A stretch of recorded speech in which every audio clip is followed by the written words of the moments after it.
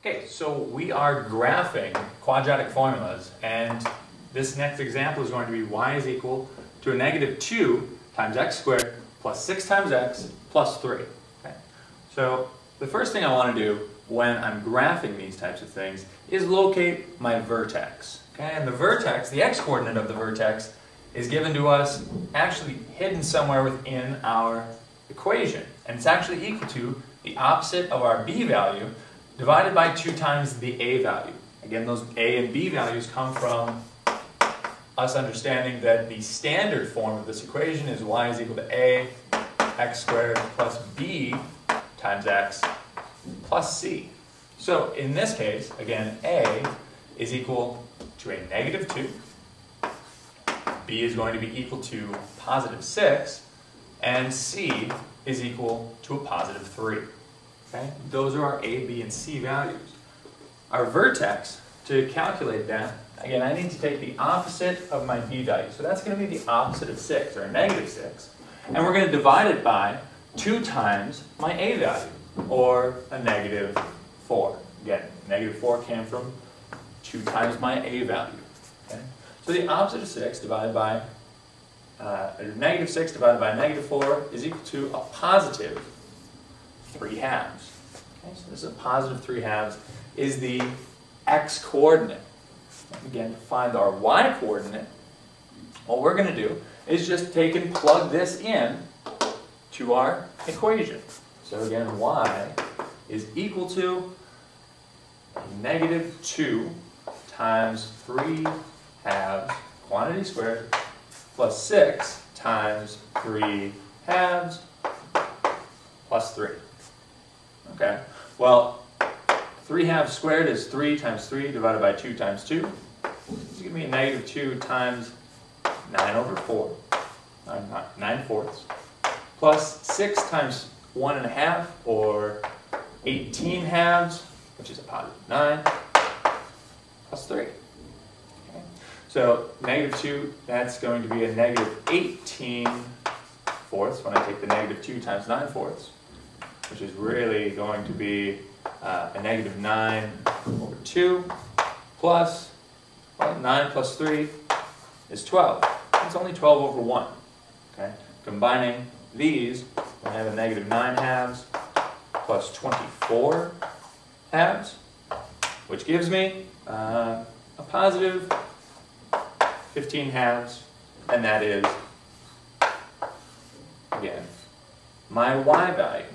Again, all of these were equal to our y value that we're coming up with. All right there. But, okay, so the y value there is 15 halves, or 7 and a half. Okay, so let's take and plot our vertex. So we need to come over here to positive 1 is positive 2. 3 halves is going to be right in between. And then we need to go up to 15 halves, or 1, 2, 3, 4, 5, 6, 7, and another half. So I come straight up here. This, again, is going to be my, my vertex at 3 halves,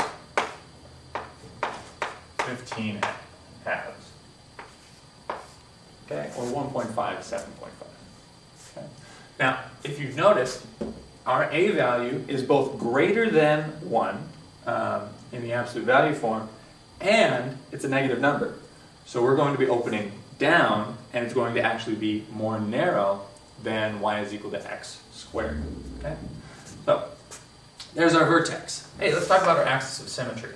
Okay? Axis of symmetry is that vertical line that runs through our x-coordinate. So again, we take the green line, or just plot that right through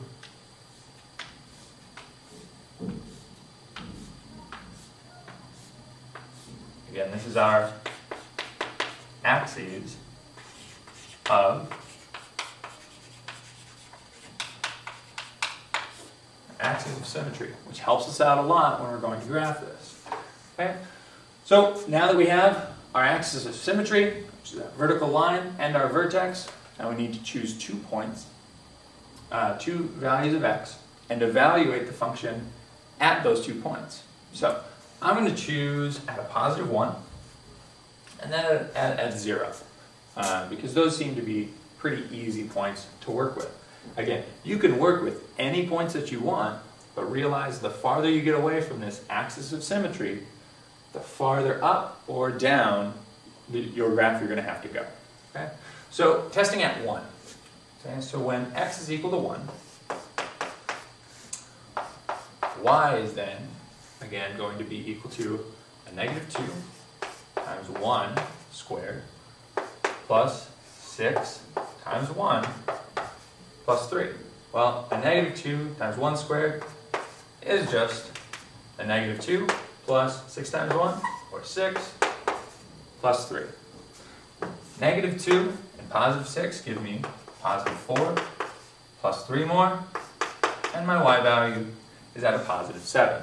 So I can graph the point 1, 7. Okay, graphing the point 1, 7. Okay, and now testing at 0,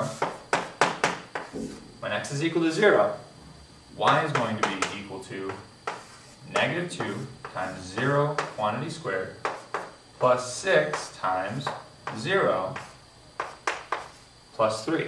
Maybe you've noticed it already, but anything times 0 is a 0. So this is 0, 6 times 0, again 0, and plus 3. So when x is 0, y is equal to 3. And I can plot that right here. I now have my 1, 2, 3 points that are plotted, and I can use this axis of symmetry, kind of like a mirror, to go the exact same horizontal distance and be the same vertical distance on the graph. So at one half of a unit away, I'm at a positive 7, so one half unit away, I'm going to be at positive 7. And one and a half units away, we went from 3 halves to 0, so from 3 halves to a positive 3, we're going to have a value of 3 again. Okay? Again, that's why we, we plot this axis of symmetry. It gives us a lot better perspective, and it helps in the graphing process. Okay? So now all I have to do is connect